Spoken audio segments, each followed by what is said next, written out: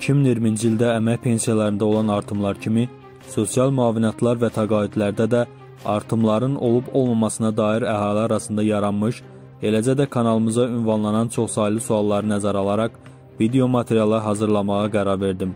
Bildirmək istərdim ki, hazırda pensiya alanların böyük əksəriyyətinin pensiya məbləği bu il yanvarın 1-dən 16,6% artıb. Bu ilə qədər 200 manat pensiya alanlar 233 manat 20 qəpik, 250 manat pensiya alanlar 291 manat 50 qəpik, 300 manat pensiya alanlar 349 manat 80 qəpik, 350 manat pensiya alanlar 408 manat 10 qəpik, 400 manat pensiya alanlar 466 manat 40 qəpik alıblar.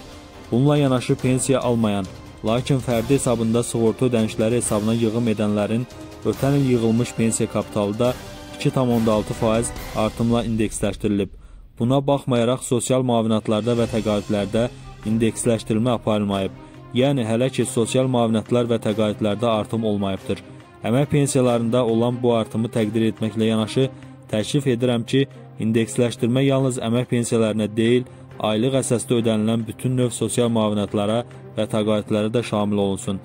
Buna büdcədən kənar mənbələr hesabına formalaşmış maliyyə vasitələri də imkan verir.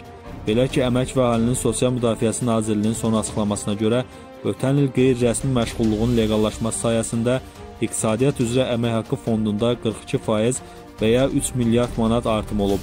Mövcud qanunvericiliyə görə bu artımdan ən çox pay götürən Sosial Müdafiə Fondu olduğundan sosial müavinətlərin və təqaüdlərin də orta aylıq nominal əmək haqqının illik artım tempinə uyğun olaraq indeksləşdirməsi mümkündür.